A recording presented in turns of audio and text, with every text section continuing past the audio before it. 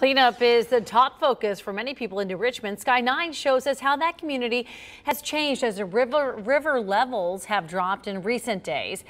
Some streets once underwater are visible again, but many of them are now covered with mud and debris. And the Tri-State is pitching in to help neighbors out a little bit here. 9 on your side, TJ Parker shows the work happening right now.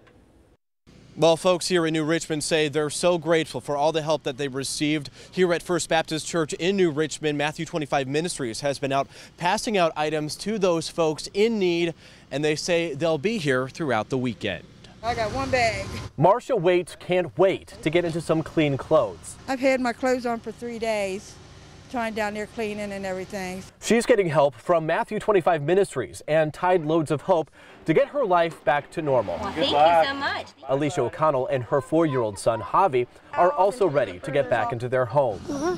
Alicia couldn't be more thankful for what the community has done to help her family. Everybody's going through a lot right now, but it's great to have everybody here helping us too. So. Sky 9 flew above New Richmond, where the Ohio River is falling back behind its banks. A different picture from yesterday and much drier than Monday. As the water recedes, though, people here know the work they have ahead of them. When it's you know in your, right in your backyard, um, it's uh, it certainly has an even uh, bigger impact on you. Ben Williams is the disaster relief coordinator with Matthew 25 Ministries. They're giving out cleaning supplies, personal care items, and safety kits.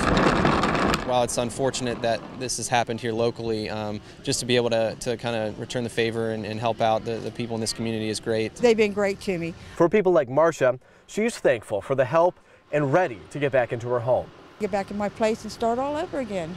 Matthew 25 Ministries says they will look at other communities affected by the flood and help them as well. In New Richmond, I'm TJ Parker, 9 on your side.